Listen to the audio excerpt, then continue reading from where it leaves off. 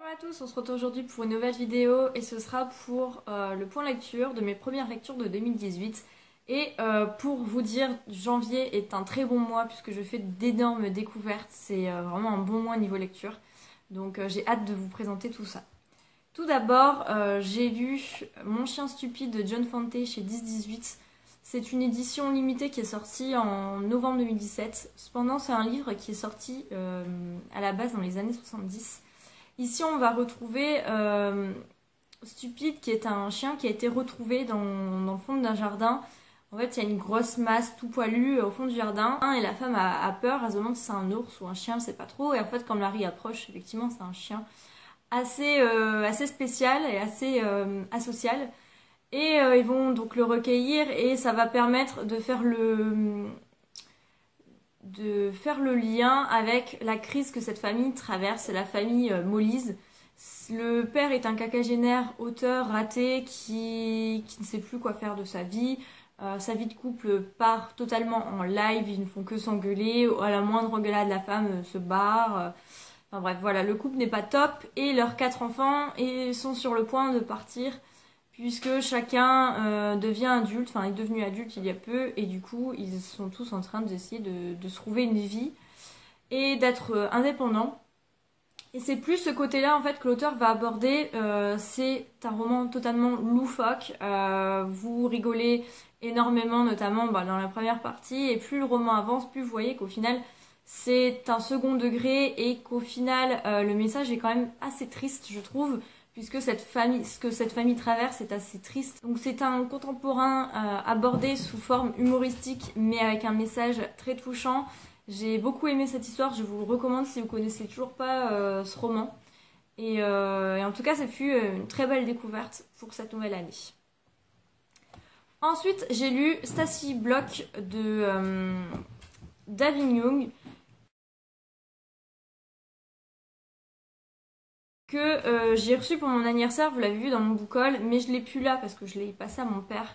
C'est la suite, plus ou moins la suite, en fait c'est la deuxième enquête de Karine Muller. Qui, le premier tome c'était Stacy, euh, Child. Et j'avais adoré cette lecture, je l'avais lu il y a à peu près deux ans.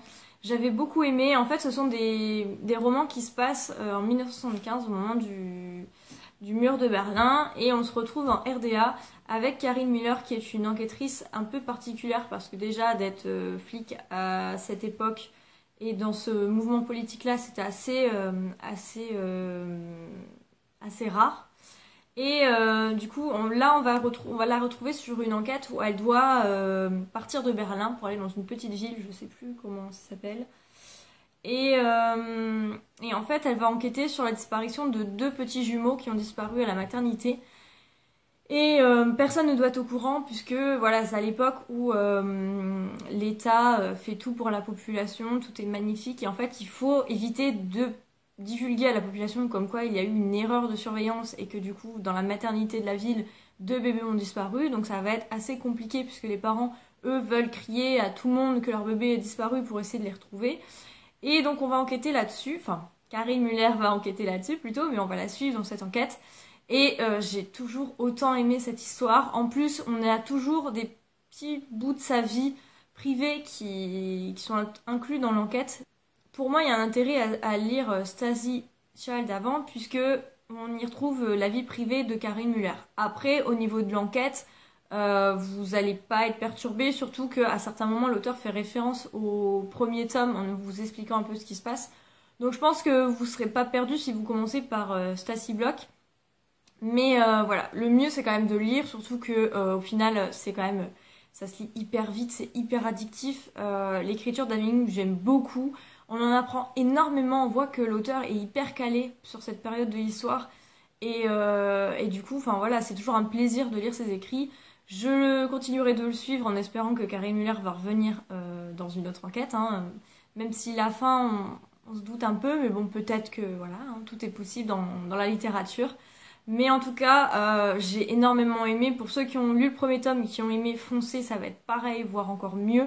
Je ne sais pas si j'ai préféré celui-là à cause du fait que euh, je connaissais déjà Karine Muller, que je m'étais attachée à elle et que j'étais encore plus heureuse de la retrouver.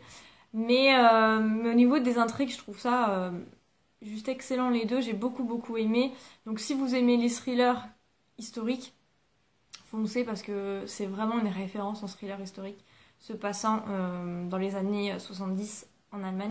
Ensuite, j'ai lu Irrévocable d'Andreas Pluger, Pluger,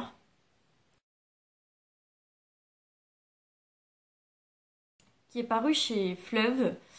Euh, ici, on va retrouver Jenny Aaron, qui, est, euh, qui fait partie d'unités très spéciales, toujours en Allemagne, et qui, il y a 5 ans de cela, dans une opération de terrorisme, elle perd la vue, et donc elle va être un peu mise de côté sur tout ce qui est intervention et arrestation des suspects, et elle va être cantonnée aux interrogatoires mais euh, pas n'importe quel interrogatoire, à des hum, interrogatoires de gens euh, très dangereux euh, et, très importants pour la sécurité du pays.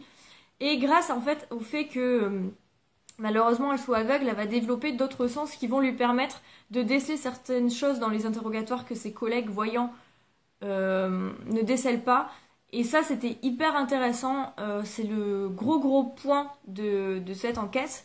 Et en fait, donc là, on va la retrouver puisque un des, coupables qui l'avait poursuivi à Barcelone lors de cette opération spéciale va, euh, va lui dire qu'elle a des informations, qu'elle a des informations révélées, mais seulement à Jenny. Et donc, du coup, elle va être mise sur cette enquête. Et euh, je trouve que l'enquête en elle-même, c'était un peu, euh, un peu longué. À certains moments, je me suis quand même ennuyée. Mais euh, je trouve que c'est un style à la, à la polar nordique.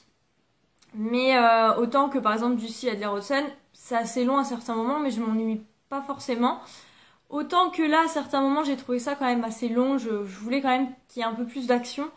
Mais sinon, j'ai beaucoup aimé, surtout le personnage de Jenny Aaron, c'est juste super. C'est vraiment le gros gros point fort de cette histoire, c'est l'héroïne elle est vraiment exceptionnelle avec euh, du fait de que ses autres sens sont décuplés. Ça nous permet d'en savoir beaucoup plus sur euh, la cécité et sur euh, bah, comment ils font pour pallier au manque de la vue. Et dans les remerciements, en plus, j'avais vu que l'auteur s'était bien renseigné et avait été dans voir des spécialistes pour justement se mettre dans la peau des aveugles, essayer de vraiment retranscrire à la perfection euh, ce que pouvait ressentir Jenny et ça du coup on le ressent dans l'histoire.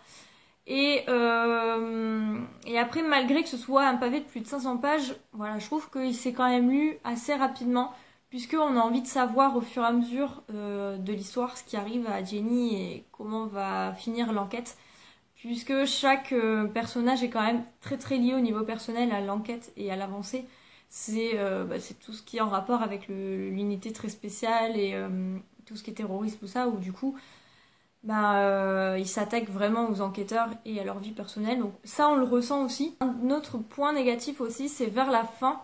Bah, je me suis retrouvée avec encore pas mal de questions. Alors au début, je me suis demandé si j'avais tout compris du coup de la résolution de l'enquête, parce qu'il y avait certains points, notamment sur les relations entre certains personnages, où ben, on me laissait comme ça, je comprenais pas trop ce qui se passait. Alors est-ce qu'il va y avoir une suite ou pas? Je ne sais pas, ça n'a pas l'air d'être euh, le cas dans la fin de, l'histoire. Mais du coup, je me suis retrouvée quand même avec certaines questions et je me suis euh, sentie frustrée à la fin parce que je me suis dit, bah mince, en fait, euh, soit j'ai pas tout compris, mais enfin, je pense pas parce que j'ai quand même tout compris les 500 premières pages, donc je vois pas pourquoi j'aurais pas compris les 50 dernières. Ou soit bah, j'ai l'impression que l'auteur a bâclé un peu la fin, donc du coup ça m'a un peu déçu. Donc je vous le recommande si vous voulez un thriller avec un style plutôt euh, nordique, puisque même si l'auteur est allemand, il me semble, euh, l'écriture et l'ambiance me fait vraiment penser au thriller nordique très lent où, euh, l'enquête est vraiment assez longue, contrairement au style français où là ça va dans tous les sens. Là, on y va progressivement, on, rentre dans l'ambiance. Après, ça nous permet aussi d'être dans l'ambiance. Donc ça, d'un côté, c'est un point positif. Mais j'ai trouvé qu'il manquait quand même quelque chose à l'auteur pour, euh, que ce style soit vraiment accrocheur et addictif. Donc euh, voilà, j'ai bien aimé, l'enquête est assez bien, le personnage est juste fou. Donc c'est quand même une lecture positive, positive, mais, euh, mais voilà, il manque quelque chose. Et enfin, dernier livre de ce point lecture, j'ai enfin lu Le dernier hiver de Fabrice Papillon, édité chez Belfond. Et là, j'ai beaucoup, beaucoup aimé. Je m'attendais pas à autant aimer. Ce fut une très, très bonne découverte. Ici, on se retrouve dans un thriller historique. En, juillet 2018, un terrible secret né à Alexandrie 16 siècles auparavant sème la mort en France. L'implacable destin pourra-t-il être contrecarré ou le dernier hiver mènera-t-il inexorablement l'humanité à sa perte? Donc, je vous lis volontairement le résumé parce que vous faire un résumé, j'aurais trop peur de vous spoiler puisqu'il se passe énormément de choses dans cette histoire. Ce qui me faisait peur au début et euh, la, raison pour laquelle j'ai attendu euh, deux mois pour le lire, c'est qu'en fait, euh, on va vraiment aller dans le côté historique. Donc, je crois que c'est du 5e, 5e siècle, on commence au 5e siècle. Et en fait, au fur et à mesure, on va avancer dans l'histoire et euh, on alterne avec les passages au présent. Euh, et, je me suis dit que j'allais euh, un peu m'ennuyer, même si j'aime beaucoup l'histoire, j'avais peur de ne pas aimer, de pas accrocher au niveau de, l'histoire. Et en fait, les connaissances historiques, scientifiques de l'auteur sont tellement poussées et, et importantes que peu importe où vous vous trouvez dans le présent, dans le passé, euh, au niveau euh, géographique, vous apprenez énormément de choses. J'ai beaucoup aimé ce livre. On l'a lu en lecture commune avec Séverine. Euh, il fait plus de 600 pages, je crois. On l'a lu en à peine une semaine. Euh, enfin, on découpait, puis voilà. Je pense que si on, aurait pu, on l'aurait enchaîné. Enfin, surtout moi, parce que j'ai vraiment beaucoup aimé. Après, au fur et à mesure de l'intrigue, on découvre des choses sur la couverture qu'on n'avait pas vues au premier regard. Et, ça, j'ai trouvé ça fort parce qu'au fur et à mesure de l'histoire, du coup, vous comprenez plein de choses. Et au dénouement, vous dites, mais en fait, euh, on aurait pu le découvrir au début, on aurait pu avoir des indices. Mais on est tellement dans l'enquête avec euh, Marie et le commissaire Brunier, qui sont deux personnages très importants et euh, auxquels on s'attache énormément. Surtout le personnage de Marie, moi j'ai adoré.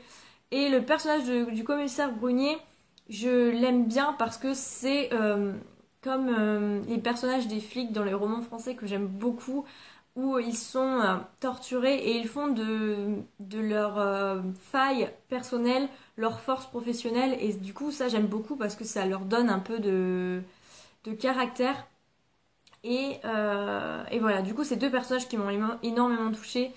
Rien que pour les personnages, j'ai beaucoup aimé. L'intrigue est juste exceptionnelle, mais je m'attendais pas du tout euh, à la fin. Enfin, je, savais pas du tout où on allait et euh, j'ai beaucoup aimé.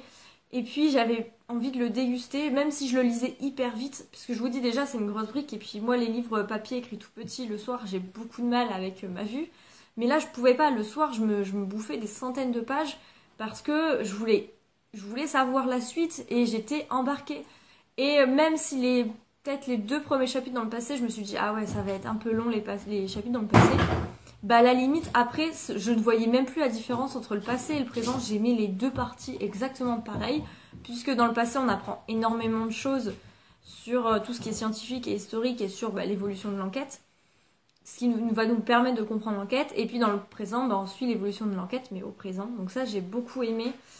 Euh, voilà, je, suivrai l'auteur sans souci parce que j'ai hâte de découvrir d'autres écrits où il va encore m'apprendre plein de choses.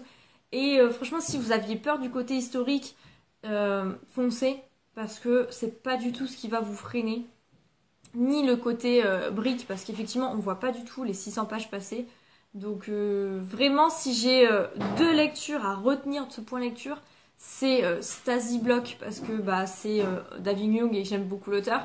Et celui-ci parce que vraiment ce fut une très très très belle découverte. Et, et je remercie encore Belfond de me l'avoir envoyé parce que je sais pas si du coup, au vu de mes appréhensions, je, me le serais pris. Donc franchement, je vais le garder et le relire, enfin pas prochainement, mais je le relirai parce que vraiment j'ai beaucoup beaucoup aimé. Et d'ailleurs, je vais le passer aussi à mon père je l'avais pas fini quand j'étais euh, chez mes parents, mais euh, la prochaine fois que je le vois, je vais lui passer parce que vraiment, je pense que ça peut l'intéresser et ça peut être un très très beau cadeau si vous avez un livre à offrir et vous savez pas quoi offrir. Je pense que ce livre-là peut intéresser beaucoup de monde. Je pense avoir fait le tour de mes quatre lectures qui ont été quand même assez bonnes. Euh, voilà, j'ai pas eu de déception dans ce point lecture. Et puis le point lecture prochain, et pareil, j'aurais juste une déception, mais c'est un livre que j'avais laissé de côté en 2017 et que j'ai fini là. Donc voilà, c'est pas vraiment lecture 2018, mais sinon mes lectures du moment sont juste très bien. Donc je vous retrouve très prochainement pour vous en parler. En attendant, je vous laisse dans la barre d'infos euh, les liens vers les chroniques de mon blog pour que vous puissiez euh, en apprendre davantage. Peut-être que j'ai pas été assez, euh, j'ai pas fait un avis assez approfondi puisque ces livres ont quand même déjà 2-3 semaines. Mais euh, voilà, du coup, je vous laisse. N'hésitez pas à me dire ce que vous voulez dans les commentaires. En attendant, je vous retrouve la semaine prochaine pour un nouveau point lecture. Ciao